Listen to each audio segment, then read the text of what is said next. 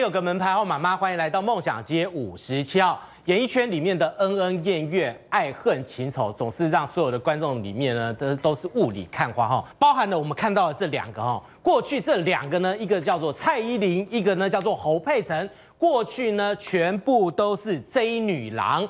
呃，过去呢是后不见后的哈，但是呢，没有想到昨天在林心如的一个归宁的晚宴上面，演出了一个大和解的一个戏码。对，这张照片是隔了十一年之后有了合照，为什么呢？J 女郎蔡依林跟侯佩岑，当然十一年以来，他们即使在公开场合有见到面，应该也都是把对方当空气。那为什么呢？我再小小交代一下，当年那个石破天惊的那张照片，这是二零零五年的二月，但是这张照片其实是个意外。当时呢，我的朋友的朋友是香港的狗仔，有两个人。那他们在农历过年的时候，被他们的杂志社指派说陈奕迅要去日本玩，叫他们在过年的时候跟着陈奕迅。这两个狗仔当时心情超差，所以到了那个日本的代官山的时候，就随便拍两张。在拍的时候，就发现陈奕迅跟他站在对面的一个男生挥手打招呼。那狗仔也随便拍了两张。就随便按了两张，好，那按了两张照片之后呢，那个男生显然也带了女朋友，然后狗仔就把一整批照片，陈奕迅跟那个男生的照片就一起传回了杂志社，对不对？陈奕迅照片就被扔了，因为杂志社编辑一看到那个照片的时候就说：“天哪，你拍到了周杰伦呐！”那个年代，二零零五年了哦。但是他们对侯佩岑不是很熟悉，还透过了台湾的媒体协助他们完成了这篇文章，也就是大家很有名的戴冠山的周侯恋。二零零五年，当那张照片出来的时候，有一个人呢暗自垂泪，就是蔡依林。因为当大家印象还在双 J 的时候，那你们把蔡依林放哪去了？蔡依林后来讲说，她是最后一个知道，她说这是她谈过最夸张的恋情。总之不管那个时候。从之后呢，这两个人就不再见面了。二零零五年，在那个当下的时候呢，其实真正在谈恋爱的是。周杰伦以及蔡依林，而且呢，周杰伦还帮蔡依林制作了唱片，甚至帮他写了很多歌。所以呢，当时的话，外界的话呢，这个双 J，呃，这一个他们的一个唱片，童话有没有？是没有错。而且呢，当时两个人的身世是是如日中天，但是没有想到呢，周杰伦居然呢跑到了日本去，居然跟这一个侯佩岑勾着他的脖子，恋情正浓。那蔡依林怎么办呢？而且你看哦，这一。一直是我们台湾乐坛的童话故事，男的女的都非常相当，声势也一样，对不对？大家都好希望双 J 可以复合。你们现在看到的这个画面其实是二零一零年，所以为什么侯佩岑跟蔡依林一直没有办法再见面，跟那个在同一个场合出现？是因为当周杰伦跟侯佩岑分手之后呢，周杰伦非常积极的想追回蔡依林。所以二零一零一直传双 J 要复合，甚至蔡依林她生日的时候，周杰伦都还送上礼物，两个人相约打保龄球，有没有这个经典的画面？你怎么连一句话都说不清楚？可是他们的定情曲哦，好，那因为这样纠缠了十几年，所以蔡依林、侯佩岑就错过了。甚至二零零七年的时候，侯佩岑主持金曲奖，蔡依林因为入围了这个最佳女歌手，两个人都还没有照过面。所以你看哦，昨天晚上归宁宴，我们的宽姐发现他们两个背对背。哎，这样不好吧？好不容易两个人在这个婚礼上都见面，就把他们两个人拉来说好朋友啦，大家一起合照嘛。两个人都说好啊，尤其侯佩岑哈，田姐就说她是蔡依林的歌迷啦。那各位你知道吗？蔡依林为什么特别还跑到这个林心如的归宁宴？当然她是林心如的好朋友，曾经邀林心如拍她的 MV，但她最重要一个目的是做什么？你知道吗？是什么？她是要去现场看那个结婚蛋糕。为什么要看结婚蛋糕？蔡依林现在是翻糖蛋糕的权威啦，对，她是想去看看那个六层的结婚蛋糕，人家怎么做之前那个金曲奖的奖杯也是他做，对，是因为这样子。但是很好，终于这个画面历史性的复合了，十一年，他们终于在同一个场合合照了，没事了啦，哈。但没事，很多人还是很有事啊，是不是？为什么呢？想到当年的这些 J 女郎，是不是就跟这个人有关系？就是周杰伦了。是啊，周杰。周杰伦现在也结婚了啦，然后侯佩岑也结婚了，然后呢，这个呃呃，蔡依林的话呢，现在有好的锦荣有好的男朋友了。对。可是呢，这个周杰伦的话呢，其实呢，他的恩怨还真的不少啊。从周杰伦放射状出去哈，当他跟蔡依林在一起的时候呢，双 J 恋正浓的时候，因为蔡依林跟罗志祥、小猪非常好的朋友，到现在还是妈吉。当然，罗志祥就挺这两个人，他们也是妈吉。但是当周杰伦跟蔡依林不好的时候，罗志祥要选谁？他选择挺蔡依林，所以他就跟罗周杰伦之间出现了问题。周杰伦后来出专辑叫做《摩羯座》，要上罗志祥的《娱乐百分百》这个节目的时候，突然就退了通告，所以外界就发现两个人不和，而且他们彼此的粉丝尬得很厉害哦，会相互去对方的网站骂，哎，痛骂对方。那长期以来，两个人就被传说严重的心结。好。后来是因为罗志祥呢，又因为跟小鬼叫黄鸿升出了一点状况。庆雪，这我一定要讲，好有趣哦！你知道你们男生上厕所要小心一点。罗志祥、小猪跟小鬼他们一起主持《娱乐百分百》一个娱乐节目。好，那那一天呢，在棚里面，大家因为这个休息的时候，小猪先去上厕所，那男生上厕所他就跑到那个呃，就把门关起来，对不对？那这个时候，小鬼跟他的朋友叫小芳就进去就去尿尿。那他们不知道小猪已经在里面了，那是不是就开始讲小猪的八卦？对，有趣了，被听到了。因为因为小猪他在他们背面呢，这种情形常常有，常常有。嘴巴不要碎，公司里面常常出现。好，那这个时候是怎样？小猪蹲在那边，对不对？哈，然后小芳跟小鬼在前面尿尿，小芳就讲了，哎。那个小猪哈粉丝很多哈，就一边尿一边讲。好，那这边小鬼就说粉丝是很多啦，可是小猪的粉丝都没有气质。哇！你是那小小鬼，小猪在里面上厕所听到不就发火？而且小鬼平常在小猪面前看起来就是毕恭毕敬嘛，哈，然后对小猪也很好。那你怎么可以讲小猪什么粉丝没有气质？然后小猪其实就在你的背面蹲着，当然超不爽啊！而且小鬼是后生晚辈。对，那这时候如果是你是小猪，你会怎样？当然就是给他大方的门打开呀，让你们看看你们讲什么，讲我的粉丝没有气质吗？所以这件事情就比较康了。那当猪跟鬼不和的时候呢？周杰伦反而出来说话，说啊，大家都长大了嘛，哈，也没有什么不不不开心的。反而周杰伦跟罗志祥现在很好了。可是呢，罗志祥跟小鬼不好，可是周杰伦现在跟他的师傅很有事，而且我看这个结应该解不开，哈，为什么呢？想当年，你看看一九九九。九七的时候，吴宗宪先发掘了周杰伦。那个时候的周杰伦很不得了，每张唱片都大卖。可是为什么一直到了二零零一，他用三亿，他是打包，他是整个唱片公司含艺人全卖掉了，卖给了好乐迪。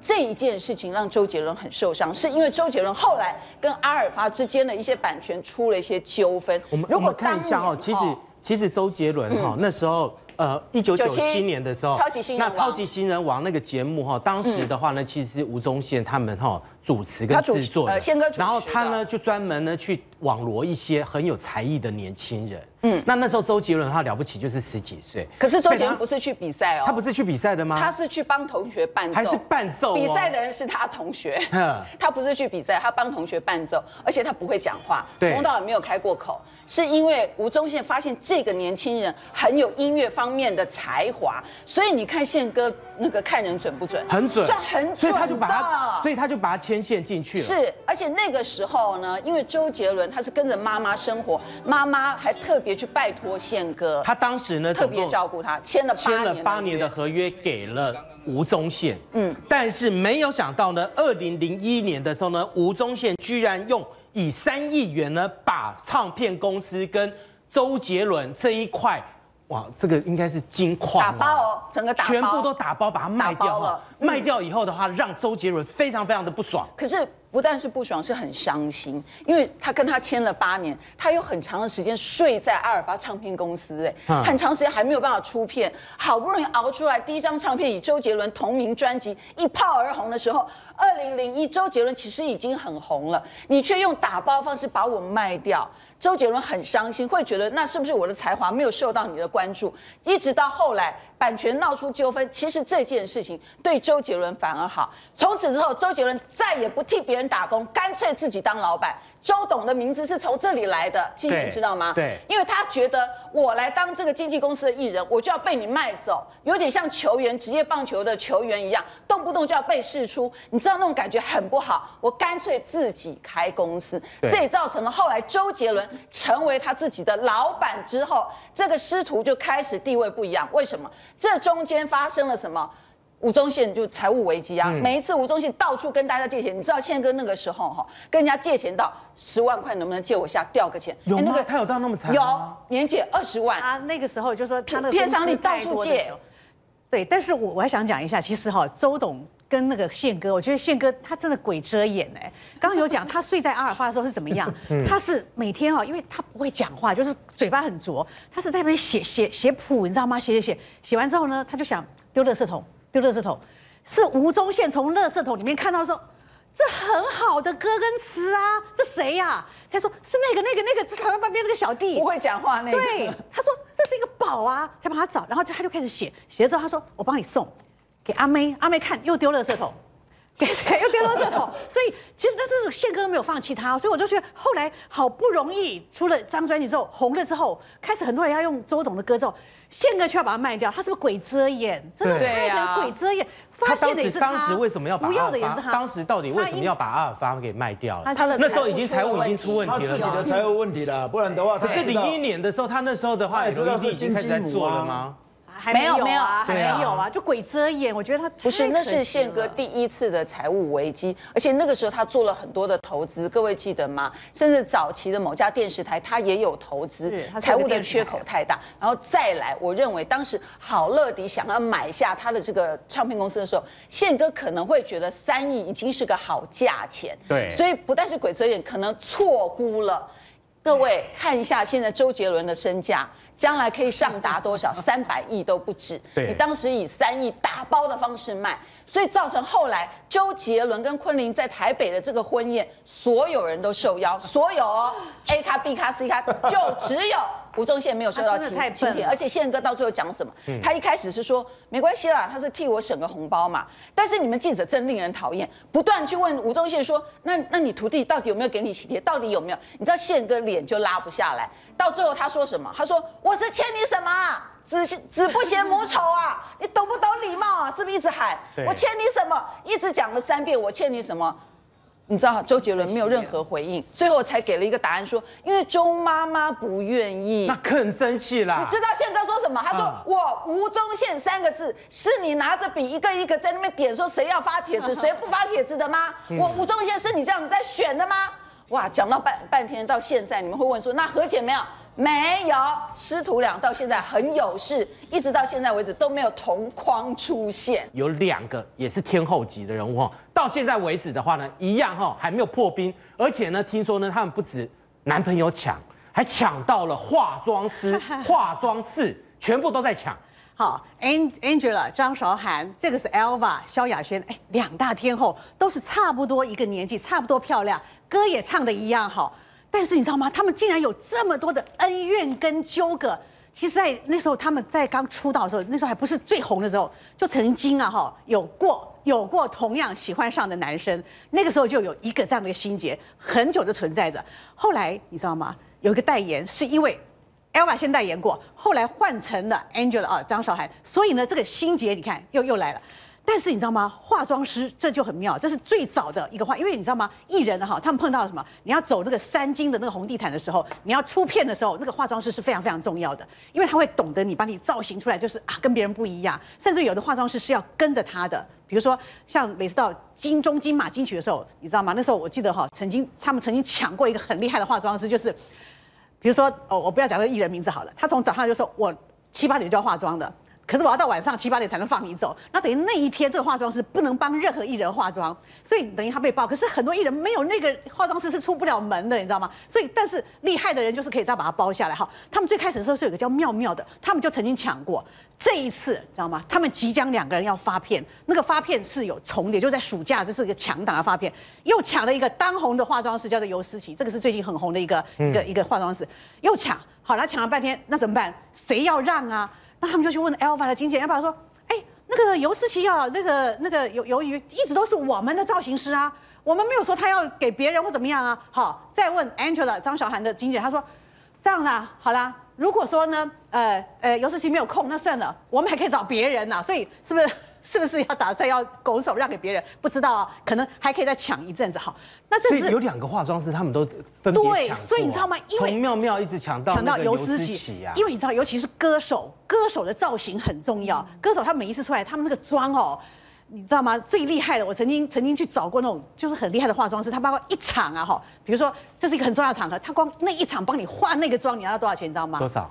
八万块哇，只有八万块到这么高，那还是友情价哦。有一个很有名的化妆师这么厉害，一天，因为你知道吗？他那个妆不是不是这样给你画上去的，嗯，是用慢慢喷上去的，可以让你这样无爪痕迹的这样子在你脸上贴上那个妆，而且是反正就是可以画到无有形胜无形那样的妆号，是要八万块。我曾经去问过一个很厉害的化妆师，那那个时候是要走一个很很一个红毯帮我的一个艺人问，他要开八万块，而且。还没有空，好，那就是抢抢抢抢抢化妆师，抢到什么？最近最厉害的是一个，他们都自创品牌了，创什么品牌？鞋子。好，他们因为都是那种当红的偶像，每次出来，对不对？唱又唱又跳，那个脚上是不是粉丝都会看到啊？对。好，Angel，你知道吗？他其实前两年受到那个家丑事件呢有点影响，可是再战江湖的时候不得了，他除了歌啊什么各方面创新之外，他去自创品牌了。这个品牌啊叫做 Temptation。这个品牌厉害在哪里？你知道吗？他除了自己穿，他有一次啊哈一个活动里面，他就换了六双鞋子，哎，让粉丝看到啊，这哦，Angel 你那个鞋子好漂亮，立刻就去买哦，粉丝立刻就去买哦。好，他还给谁穿？小燕姐也穿了，桃子姐也穿了，什么人都穿了。所以他的鞋子呢，是从各个年龄阶层都有，有高跟的，有雨鞋的，有靴子，有平底鞋，什么鞋都有。那很多呢，是他亲自参与去画那个设计图的，甚至于在呃呃我们的最厉害的那个一级战场东区很多的点，他都有买到，他都有点在那里。而且听说他东区的这一个点的话呢，不到半年的时间呢，就回本，就回本了。对，就他其实创业金啊是一千一百万而已，可是呢。他一个月的营业额可以达到两千两百万，那很厉害。因为很多小女生看到 Angela 穿的时候，她会去一口气可能就六双七双这样买下，因为她的鞋子没有很贵。张韶涵《隐形的翅膀》在大陆在大陆非常红啊，很多她怎么没有继续再唱下去啊？有有有，她现在有一个巡回演唱已经出来了，但她现在已经开始在大陆还有全世界有巡回演唱即将会展开。所以她除了自创副业这个品牌，而且这个品牌其实它的后面的后世的潜力非常非常大。为什么？因为就是因为刚刚讲，它否很多的族群，然后呢，它在它的官网上是怎么样的？包括地点、品牌、价钱，它最后还有一个谁穿过，这很厉害哦。谁穿过？我给他点进去看。哇，这个名人也穿过，那个名人穿过，哇，这是就是名人最爱的牌子。你说他厉不厉害？他送给你们这么多人穿，可是最后那个都回归到他这边，所以才会有一个月可以有到两千两百，而且东区是一级战场。好，他开的店是在东区哈，萧亚轩开的店呢也在东区，也在东区，所以两个人又又火拼上了。又在东区里面呢，连鞋子都要拼在一块。好，他的牌子叫做 Carry Me，而且很好记的哈，带我走。它的装装潢费用什么什么六百万，其实比它稍微低一点，但是它也是在敦南那边独栋的这样一个卖场是很大。那时候开幕的时候是召召开很大的一个盛大的记者会，很多媒体都在报道。哦，月租也日月租也要八十万到这样。可是你知道吗？它也是一样啊，找名人来加持啊，那个 Twins 的那个阿 sa 什么等等的，他也是送鞋子到那边去，请他们穿。还有就是说，呃，Alpha 它的鞋子是走比较新潮一点，比较 fashion 一点。但是其实为什么？因为 Elva 穿过，很多粉丝就是 Elva 一穿，看他台上穿，他们立刻就去买了。好，但是因为东区是一级战场嘛，对不对？寸土必争，然后鞋子店那么多，他们两个都是天后，那他们看，你说粉丝，也许我这个月我只有两千块的预算，那我买了张韶涵就买不了萧亚轩，我买了萧亚轩就买不了张韶涵，所以他必须要势必要抉择，我只能买一个人的，那我要买谁呀？所以两个天后的鞋子大战就在东区上火热的烧开来。好，我们来再讲，还有一个天后阿妹耶，妹姐，妹姐是不是每次演唱的时候都有一个非常高的？她的那个鞋子都有够高的。她有好几次被子怪倒，还摔倒，对不对？可是她一定要穿那个恨天高才能够出场演唱。好。那阿妹这么会穿鞋子，这么多鞋子，她是不是要创个牌子啊？这个牌子一定有很多人会喜欢会买，对不对？那不创白不创啊，就创了一个叫阿妹的牌子哦，她也创，但是她比较厉害，就是说因为她太忙了，她没有时间，就是说我去呃找点啊，我去这经营那个那个点啊之类的，因为那要花很多的心血，他干脆呢就跟很有名的达芙妮，你知道吗？达芙妮是从大陆红回来，台湾是我们台湾人的自己品牌，他跟他挂在一起，也就是说是跟他就是等于是呃驻点啊，住在那个达芙妮里面，两个人合并这样，但是也很厉害啊。这个达芙妮的点呢，好，包括大陆跟台湾是几万个点呢，尤其在大陆是每个大城市、小城市都有达芙妮这个点在存在。好，那这个妹的鞋子，因为非常的也是非常前卫嘛，而且阿妹自己每天常常这样穿出来，大家还会是会去找啊，因为有特殊的族群会喜欢她的鞋子，你知道吗？一双多少钱？都要上万呢、啊，这么贵呀、因为特殊鞋款嘛，那卖得掉吗？卖得掉啊！只要像个阿妹啊，A M E I 就卖掉了，一万块又怎么样？因为妹的粉丝很多啊。他说那个阿密特，他出那专辑的时候，还有一个阿密特的那个呃鞋子哈，是就是高跟鞋这一双哈，而且他要卖两万块哦，限量喊一百双，马上秒他会。喊限量，就明星最厉害的就是说我都喊限量。其实包括呃 Angela、and Elva 他们也是一样，也会有限量款，也有平民版。都有，那阿妹比较厉害，就说哦，反正我就是跟那个达芙妮，就反正就拆账嘛。嗯但是达芙妮因为她的点非常非常多，阿妹这个是蛮保守、蛮好的一个做法。好，所以我们看到他们经营副业其实很厉害哈，甚至呢，连一双鞋子呢都有可能引发争议哈。这个呢，其实就是那个罗美眉跟这个丽晶哈。当时的话，罗美眉收到了一双鞋子，非常非常漂亮的鞋子，是丽晶送给她的。但是也因为这双鞋子呢，害得他们两个人姐妹情呢，后来呢破碎掉了。对，这两个的结到现在还没有解开。本来是在她在做天后宫的时候，两个人是非常非常要好的姐妹她，常常在化妆室里面两个人一直讲那个贴心话，讲几个钟头是不出来的哈。好，后来为了互送生日礼物而就是翻脸成仇。为什么？因为丽晶在过生日的时候，听说这个美眉就先送。送了一个呃，她其实觉得是一个水晶的东西，还蛮漂亮的，就是一个烟灰缸。结果丽晶就生气了，为什么？啊，我们又没有在抽烟呐、啊！你干嘛送我们烟灰缸是要干什么？我又用不到，太没诚意了。对呀、那他会认为说这水晶的很漂亮啊，可能因为他会觉得说你是我的闺蜜，你是非常了解我，因为送一个这么不实用的东西，我心里就怪怪，就不舒服了哈。好，那等到美眉生日的时候，哎，她也要回送啊。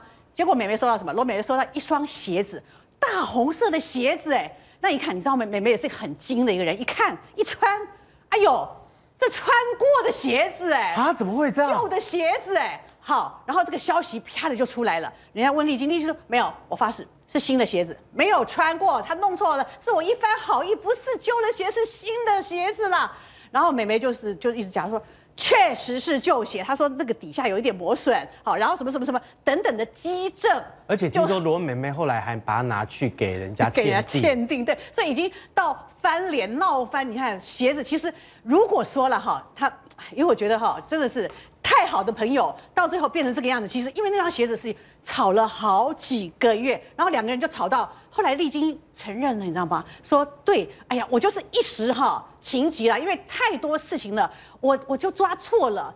抓了一双，这是我穿过的鞋子给他一开始的时候，他其实丽晶还讲过说，如果是旧鞋子的话，他们全家会死光光。他曾经然后后来呢，罗美眉呢拿去鉴定以后说确定是旧鞋子，他才又改口讲对，说 说他是拿拿错。拿错鞋，所以这个事情就他们两个人翻脸成仇，然后到现在都还没有和解。当然没有啊，也没机会，因为丽晶现在这这呃这两年要到韩国去嘛，所以两个人也碰不到面，也化解不了，而且这个事情就是他丽晶现在应该跟空姐有心结 他他蛮容易，我我觉得其实他私底下是蛮好，可是常常到了台面上，很多事情就是一下子触到那个美稿的时候，就一发不可收拾。好，那再讲说，其实丽晶跟我们奶哥呃这个徐大炮。也有一个恩怨，他们两个也有啊 你知道吗？奶哥之前有一个节目啊，就是他有一个爱的小手好，你来，比如说呃有些题目啦，或者说你什么啊、中间怎么样啊哈，有时什么什么闪失，他要打，对不对？那个小手要打你，我们都被打过，这个很惨。好，那丽晶去啊，哈，就是说，哎，就就因为他也要被受处罚，那个爱的小手就来了，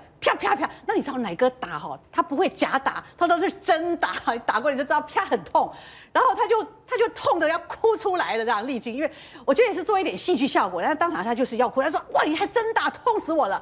那你知道奶哥哦，就是他这个真的讲话太直白，他就说哎呦男儿有泪不轻弹呐、哎，这样，那因为 因为丽晶什么男儿有男儿有泪不轻弹啊，因为这你就在他的痛处了，你怎么会这样子？那当众那就播出去了，对不对？而且奶哥还一副理直气壮这样讲，男儿有泪不轻弹啊，怎么样？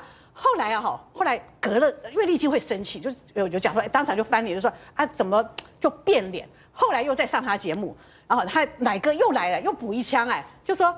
那不什么话题了哈，讲讲讲讲，就是这讲说，哎，那丽晶啊，你要不要生个孩子啊？就是在讲的有一些话又又来了，又补一枪，所以丽晶就觉得说，哦，奶哥，我跟你讲。我再也不要上你的节目了，太讨厌了这样子。好，那奶哥觉得说，哎呀，那你怎么不懂我的幽默啊？这就是效果嘛，节目效果嘛，你怎么会不懂呢？哎，怎么这么容易受伤呢？可是其实啊，就是说，奶哥其实这个这个徐大炮真的真的常常啊，那个那个枪啊炮打起来是常常这样扫射下来，很多人真的会受伤。哎，盛美他们这个到底是演真的还是演假的？是私私私底下的话是。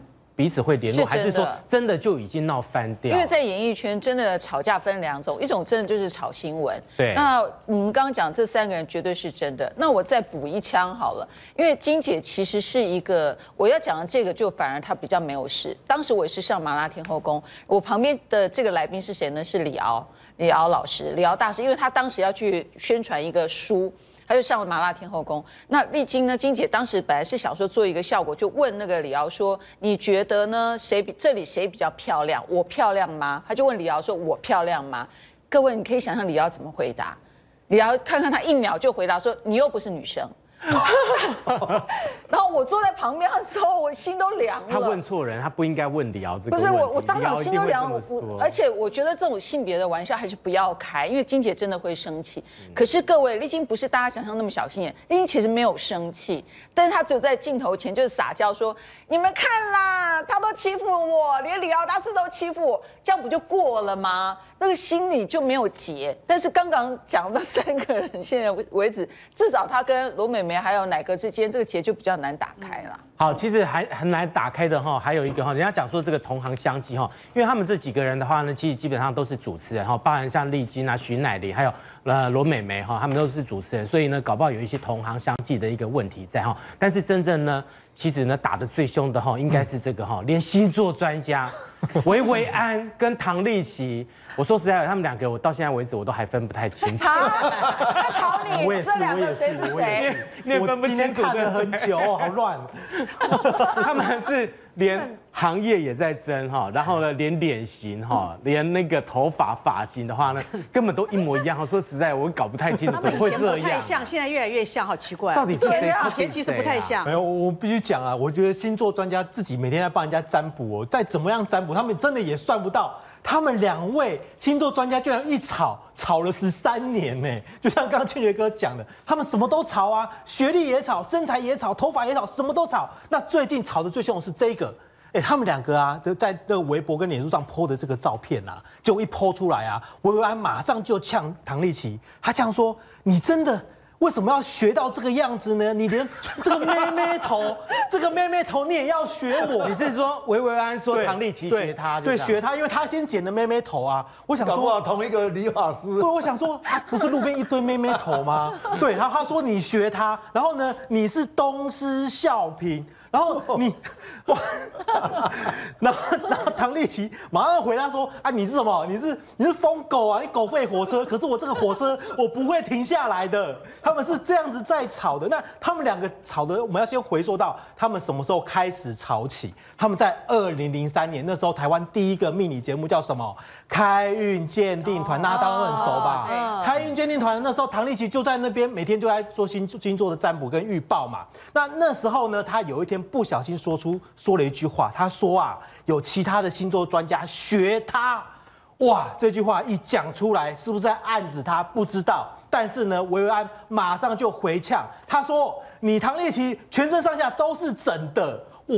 那时候两个人就结下了心结，是在二零零三年哦。哇，然后呢，二零零四年又来了。二零零四年你知道吗？那时候唐立奇去代言这个瘦身的广告。他代言瘦身之后呢，那维安他也很想要代言瘦身，所以呢，他那时候呢就故意传出来，故意增肥再瘦身哦。然后后来果然也让他抢到了这个瘦身的这个代言。但是好笑的是什么？你知道吗？他们两个人呐都是忽胖忽瘦的体质，跟我们一样。对。然后没过没多久，两个人都复胖了。那那这这代言是什么意思？然后两个人也都很很很刚好啦，就很好笑。再来又是因为减肥的事情。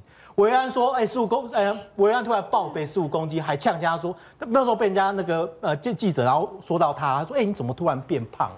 然后呢，维安就突然就说：啊，我再怎么胖也没有唐丽琴胖得多啊，就这样子在吵，哦，我就觉得真的就不无聊也好，就这样子吵，一直吵，一直吵，吵到最后二零一三年这个经典呢，要说一说一下，唐丽琪又瘦身成功了，然后呢，她出书了，看一下这张这个她的书，哇，长得真的很漂亮，很像侯佩岑，很唯美，有没有？这时候呢，刚好维维安在同时候也出书了，他出书的第一句话是说。我我自己我有修片，我承认。但是呢，我的另外一个人他百分之百也有修片，但是他的书也没有卖的比我好，是 这个样子在炒的哎。好，再来二零一五，我们刚刚讲了嘛，头发这个妹妹头的事件。再来呢，二零零六年最近这个东西真的是太经典了。维安呢有一天在微博说，哎，有一位同业 J 小姐，J 小姐你知道吗？唐丽琪她英文名字叫 J C，也是 J 开头，是不是她不知道啦？有个同业 J 小姐，她说她减肥一直减不成功，居然是靠切胃，要把那个胃切掉减肥才成功。但更扯的是什么？就维安维安说，他说啊，这个同业 J 小姐啊，还拿着我的照片，她还拿着我的照片去给这个整形医师说，我要整跟他一模一样。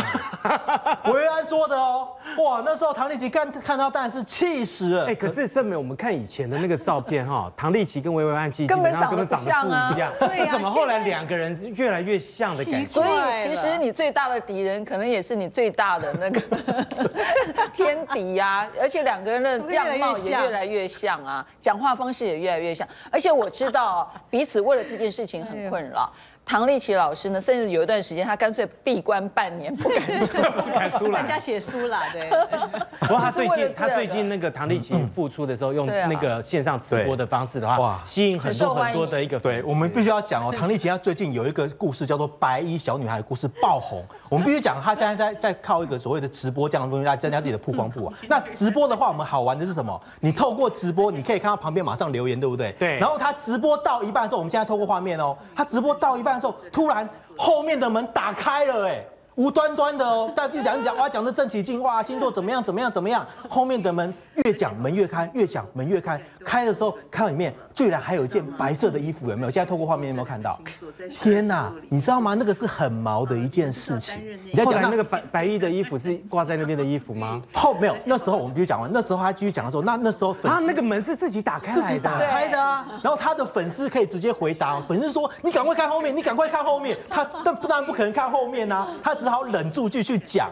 然后讲完之后，就看到这个画面，他吓死了。你看一下那个门打开，里面有个白色的衣服，有没有？他们说疑似有个像小女孩站在那里。所以他在讲什么呢？他自己本他在在讲每天的星座啊，讲这些运势啊。然后呢，他你知道这个白衣小女孩的故事，因此让他微博瞬间挤入十几万个人去看。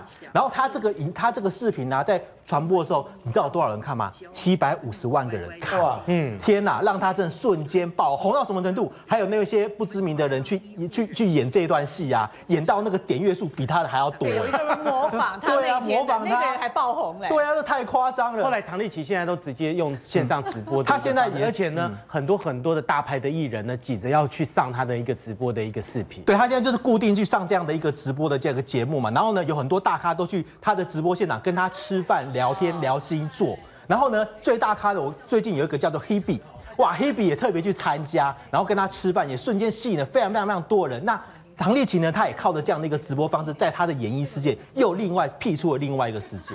好，那么真正呢要去好好的算算命的哈，应该是这一位哈志玲姐姐。哎，志玲姐姐最近呢都碰到了一些倒霉事情哈，除了陈冠希大骂她之外呢，后来呢还有田丽哈加入战局。现在的话呢不得了哈，那志玲姐姐呢听说呢要为了要化解这样子的一个。这个倒霉事哈，甚至呢传出来他买了新房子，甚至摆下了风水保证哈，为了就是要挂这个克那个怪息呀。对，那庆雪你讲的无唔对哈，因为林志玲是甲申年出生的，甲干是连破五阳的是连贞化禄，破军化权。武曲化科，太阳化忌。那今年是丙干，丙干是同基昌年，刚好连贞化忌，所以他的本来的连贞化禄跟连贞化忌忌禄冲，所以他今年换小人。不过我们在八月一号看到，哇，志玲姐姐在台湾买第二栋房子，花了一点五七亿买了新居，而这个新居呢，就在她旧居的隔壁。走路三十秒就到了，叫做利奇奇艺，两百一十平，连它露台，因为它是十九楼，十九楼里面只有这个十六楼有露台，加上露台两百一十平，买了一点五七亿，平均每平单价扣掉这个停车位是八十八点一八万。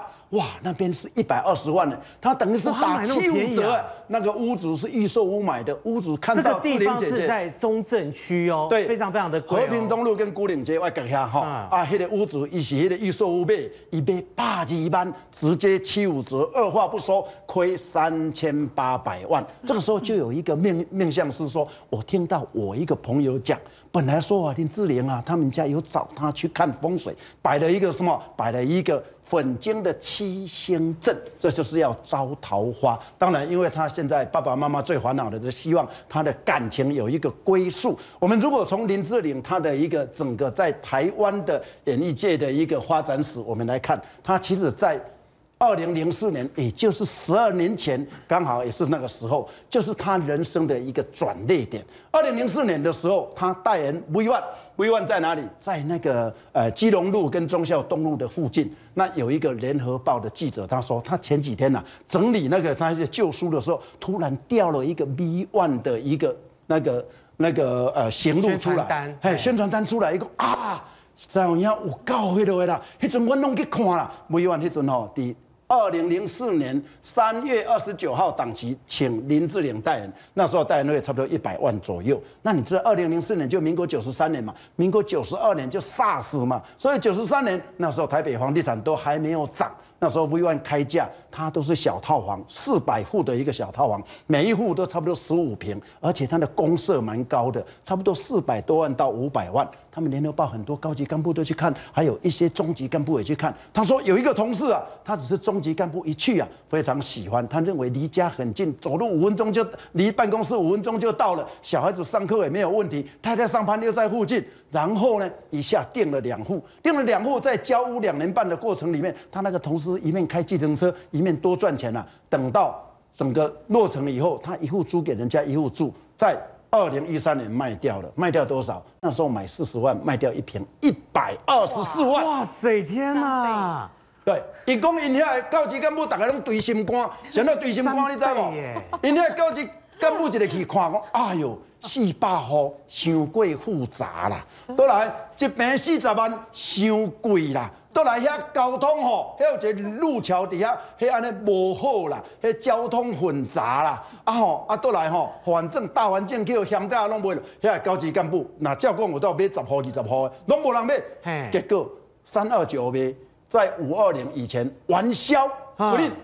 三个月马上完销。如果当初是看上了志玲姐姐美貌的，跑去买的那些老婆还会骂老公的哦，一整个大看板，你知道？报道很后悔了，你知道吗？但是二零一四年也是他的转捩点。啊，那个二零一四年呢，他刚好他的气运也是走到最低的地方。但是有一个事件突然让他爆红，变成第一名模，因为有某电子公司老板说他要花三百五十万跟志玲姐姐吃一顿饭。哦，那个消息这个出来呢，马上把他在整个拱上第一名模。结果他二零零四年的时候，除了这个代言以外，他也丢掉了另外一个代言。另外，他哥哥在那个呃大陆的一个工厂，也听说有一些财务危机。二零零五年，他又在这个摔马摔摔下来，所以那那时候气运不是很好。不过二零零六年的元月。他买的百达富力一百零四平五千五百万，那时候扣掉停车位，一平多少？四十八万。那时候他爸爸妈妈就很急啦。第一个，女儿要不要赶快感情有一个一个一个呃追归宿的地方？另外。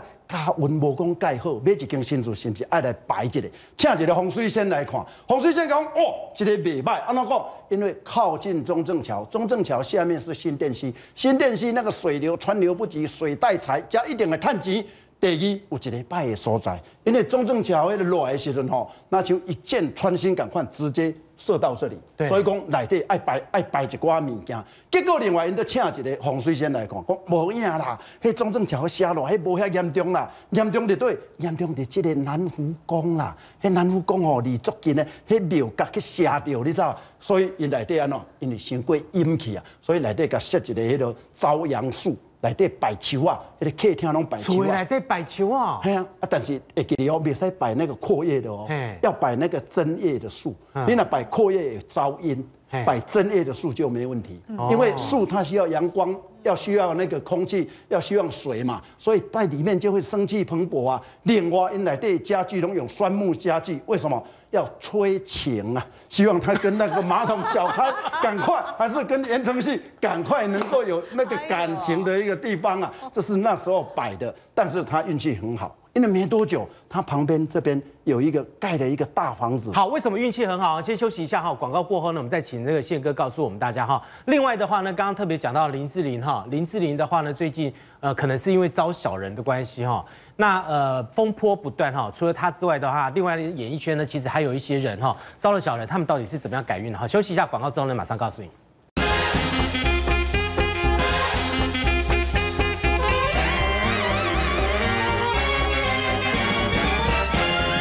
回到梦想街五十号，志玲姐姐哈，最近呃这个蛮衰的哈，但是呢，她还买了一间房子哈对。那听说呢，有风水师呢是告诉她哈，她呢要赶快摆一摆她的一个风水保证。对她那时候十年前买这个百达富丽的时候，就说因为这个庙哈，这个庙的庙甲去算掉，所以伊的附近拢是一二三四五楼，上关是五楼呢。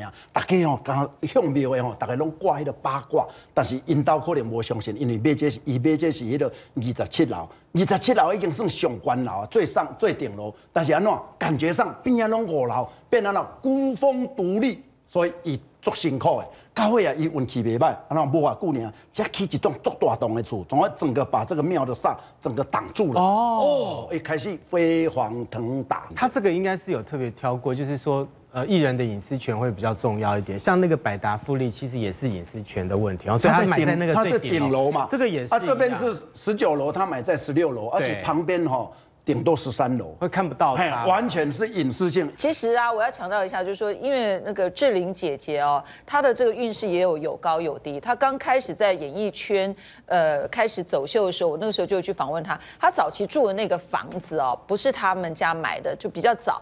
那他们家那个门口有一个那个那个鹅肉店，每次都狗仔等在那边。那她也是后来摔了嘛，我觉得她搬到百达富丽之后，的确运势会比较好，因为演艺圈是这样子，有很多的艺人都会做风水屋。我们以后可以慢慢讲，因为很多艺人他发达之后，他风水屋都不会卖掉，即使那个风水屋，风水屋哦风水屋，我举例像陈昭荣。他过去演电影的时候，台湾电影景气的时候他演，但是他收入不高。他其实住在普兴，那是他的风水屋，我去采访过。那那个屋就很旺他。那后来他在内湖，即使是买了豪宅，风水屋不能放弃，因为那个风水屋跟他的八字各方面是合的。哈，因为艺人很在乎这个，因为他觉得这个是他的 key 给处。我们台湾人讲的哦 key 给处对，很多的富豪不是后来发了，他也不会放弃他的风水对屋，他会保留在那里。那我要讲就是说，志玲姐姐最近哈，真是小人很多。你看陈冠希，到今天陈冠希的爸爸陈泽民也出来骂林志玲，好，然后有一些人你根本就不还有田丽，那有田丽。对呀，跟他什么事？好，还有当然田田丽我们大家都认识啊，田丽跟志玲姐姐应该也没有太多交情，不过田丽也出来批评了林志玲。但今天又有一个人，大家更不知道他是谁，很莫名其妙，为什么呢？他叫黄毅清。黄义清谁呀、他的前妻叫黄奕，黄奕谁呀、演过小燕子啦，这几天有讲嘛，小燕子有一代、二代、三代嘛，对。演过小燕子。但是黄奕清干你什么事啊？他就露了这张照片说，我告诉你们啦，其实林志玲好有心机，你看哦，她看起来表面上云淡风轻、和和气气，实际上呢是很有心机，因为她把她手遮住了。在哪边？来给各位看一下哈，这个呢是林志玲，呃，然后这个是谁啊？这个不知道是哪一个名模了。李嘉欣吧，她林嘉欣是不是？李嘉欣李嘉欣啊那个是李嘉欣啊，林志玲，然后李嘉欣啊。对他们是在一个时尚活动 Party，然后他说林志玲啊，故意就把这个手伸出去，是不是拍照的时候就会遮到了李嘉欣？但是各位，我们通常拎包包手真的都要这样啊，不然要这样吗？对不对？那你真的很有事。但是因为黄毅清啊，就讲的就是说，哎呀，林志玲就是喜欢装可怜啦，看起来她都不介意，其实她很介意。但我要强调，因为我们常常采访林志玲，知道其实林志玲不会这样。很多女艺人会这样，就表面上像个和平哥，实际上是抢钱、抢粮、抢男人会这样。林志玲不会，是因为她家教真的很好。你们演艺圈好黑呀！我真的私底下会啊，拐你一下会让你跌倒，或者把你衣服藏起来的，真的会。林志玲不会，是因为她的爸妈对她。谁藏了衣服？你说在换衣服的时候把你的衣服藏起来，发生过这样的事情啊？会。我曾经听一个名模讲过，他就说，比如说我们三个人一起走那个伸展台，你知道吗？走走走，然后就到中间地方，你是不是要停下来吗？停下来的时候，他就这样子，他的手就这样子。你刚刚讲这里也只是手这样，他是两手这样，其他的两个人活生生被他挡掉了。这是名模确实告诉我的事情。走秀的时候，他就这样子，然后就拍出来画面就变他一个人站了，其他两个，那其他两个人的上半个胸部都被你挡住了。他们常常玩这一套，那各种花样都是用这样衍生出来的。不过这一次的话，林志玲他们公司现在已经那个呃提出了，你说保留法律追诉权，法律追诉权。对，那针对那个陈冠希的一个事件哈，但是呢，其实我们可以看得出来哈，志玲姐姐现在真的是。非常的衰哈，但是呢，过去的话呢，其实呃，两岸三地里面呢，不乏这些女明星哈，他们他们为了要改运哈，刚刚我们看到是林志玲的话呢，是买了房子哈，然后听说呃里面请了风水师去帮他们弄了一下哈，那里面的话呢，其实在香港里面玉人里面的话呢，有一个人哈叫做刘嘉玲，刘嘉玲很神奇，听说他当初呢去求见白龙王的时候，白龙王呢只认了梁朝伟。但是没有认了刘嘉玲，白龙王是香港很多港星啊，还有大老板都是非常信奉他的哈。那白龙王还收了谁？收了梁朝伟当干儿子哎。所以那刘嘉玲身为他的这个对太做什么是要跟着去？可是你知道吗？很怪的事情，第一次去的时候，白龙王就说叫那个男的进来就好，就梁朝伟进去就好，他不要见刘嘉玲哎。那大家都问说为什么梁梁那刘嘉玲哪里不好？他说他有一股气太倔太强。我不要见他。好，后来第二次是他们《无间道》的时候在拍，其实《无间道》拍的过程当中非常非常不顺。林建岳他们老板，他们就把白龙王请来，要加持，要来要改，后来连名字都改，《无间道》是白龙王取的名字哦。好，改了之后运势就好。可是白龙来的时候，刘嘉玲还是没有见到白龙王。你看，后来呢又有一次去，白龙王还是不见他，所以四次被拒见。那就说刘嘉玲觉得说那怎么办呢？我我，因为他还是很相信这些的，甚至于他们后来结婚了哈。本来有讲说，因为梁朝伟有去请白龙王来参加，哎，好，可是他们就想说，那白龙会来吗？因为我太太是刘嘉玲啊，那怎么可能会来呢？果然没有来。但是你知道吗？刘嘉玲请了另外一个人，大宝法王十七。后来他发现说，啊，原来是大宝法王时期来跟他来到从印度赶来不丹来帮他驾驶。我跟你讲，大宝法王时期是有神力的。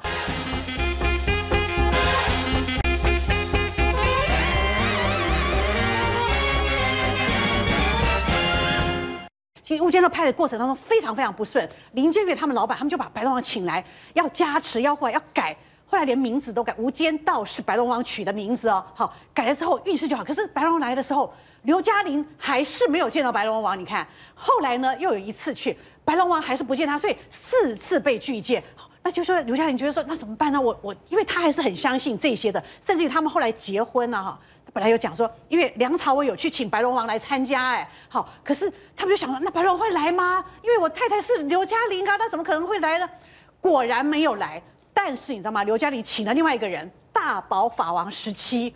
后来他发现说，啊，原来是大宝法王十七来跟他来到从印度赶来不丹来帮他驾驶。我跟你讲，大宝法王十七是有神力的。他当年在西藏的时候，是一夜之间，一夜之间就出现在印度，所以他他们就那时候就传很多说他是用一个神机让整个人出现在印度。好，大宝法王来，所以他们就说啊，刘嘉玲很棒，那你婚姻得到一个祝福。果然，他结婚之后，刚刚有讲很多艺人要要做那个风水屋嘛，他也做风水屋哎。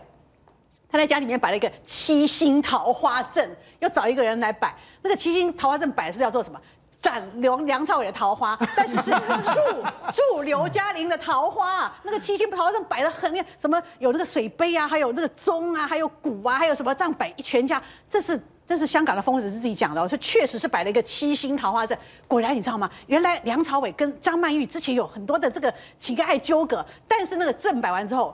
张曼玉就再也跟梁朝伟没有任何纠葛，而且他们结婚之后，其实。呃刘嘉玲啊，她的整个事业还有投资等等，其实是非常非常顺利，刘嘉玲说实在很厉害哈。那很多人呃知道哈，这个求大宝法王的话呢，很多人是为了求财哈，甚至呢有一些人呢是做生意的会去求那个大爆发。刘嘉玲光是这样子一弄的话呢，她的身价现在已经高达了三十一亿耶。嗯，因为基本上呢，她除了演艺事业，她最喜欢什么？就是做她的副业。我们来看一下她的副业到底做什么。房地产她也有投资，酒吧、服装、手表、精品手表、餐厅什么都有。她的身价三十一亿元，但是最近踢到铁板，为什么？她投